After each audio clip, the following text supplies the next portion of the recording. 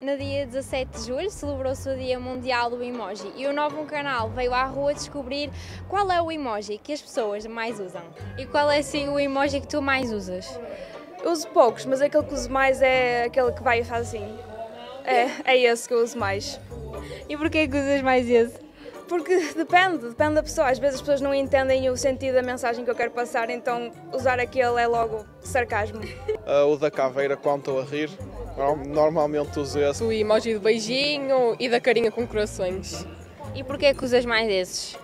Porque eu sou uma pessoa muito carinhosa, então eu gosto de ser assim fofinha com os emojis. O que eu mais uso normalmente é aquele de chorar. Chorar? Sim, normalmente por acaso é o que eu uso mais. Uso o coração rosa. Normalmente é este aqui. O. Não sei explicar qual é que é, mas é este. Coração com as mãos. A cara de riso, que é o imagem que eu uso mais, e o coração vermelho. Também. É o coração. Normalmente eu uso mais de forma tipo irónica, então em vez de usar o emoji a rir, eu costumo usar o de chorar, não sei porquê. Uso para ironia, para, para ser mais simpático, sei lá.